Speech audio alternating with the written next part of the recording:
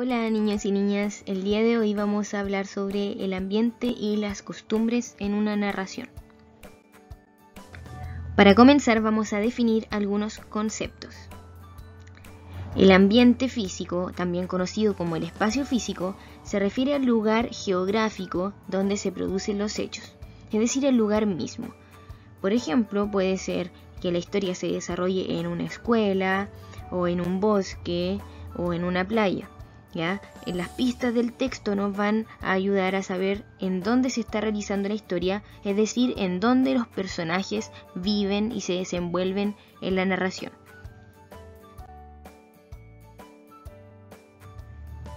También se presenta el ambiente psicológico.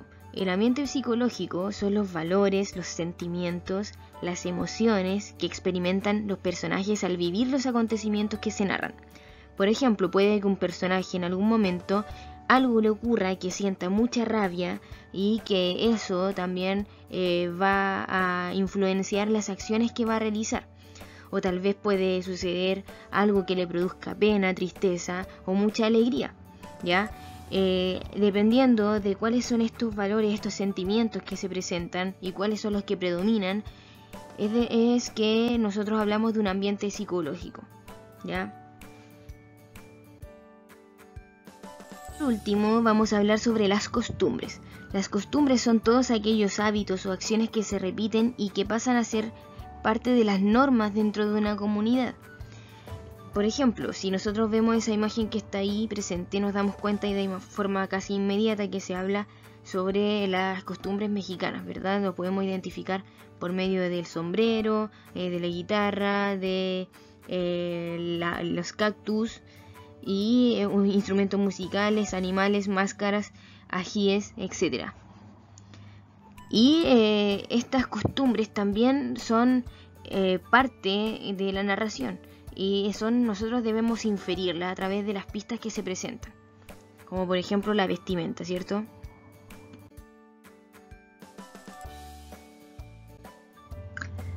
Existen algunos pasos que nos van a ayudar a poder analizar el ambiente de una manera más ordenada.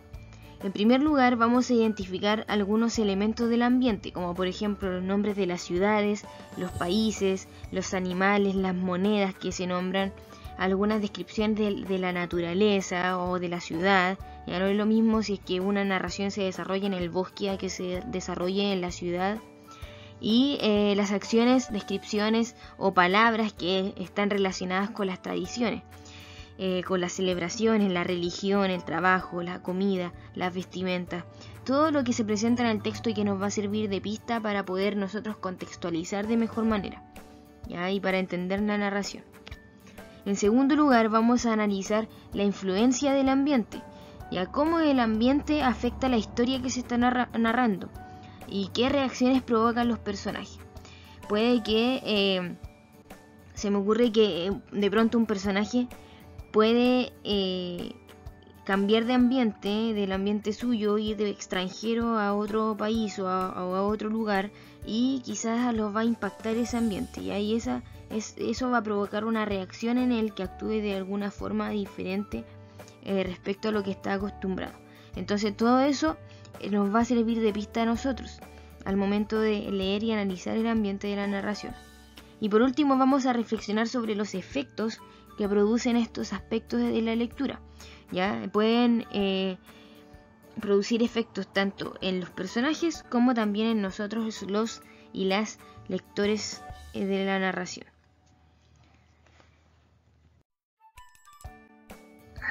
Vamos a analizar este fragmento que se encuentra aquí y vamos a encontrar algunas pistas sobre el ambiente. Ya dice que estaban en un pequeño claro de una vegetación muy tupida y baja, que había árboles, arbustos y unos matorrales cercanos, espinosos y enmarañados. Frente a ellos se prolongaba una ribera de extraño barro negro y luego la cinta marrón amarillenta reluciente de un río. Después más barro seco, endurecido y más vegetación selvática entre verdosa y amarronada. Entonces vamos a encontrar las pistas del ambiente.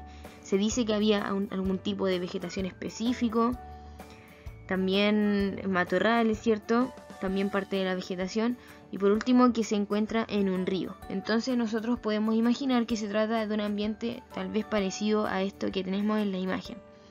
¿Ya?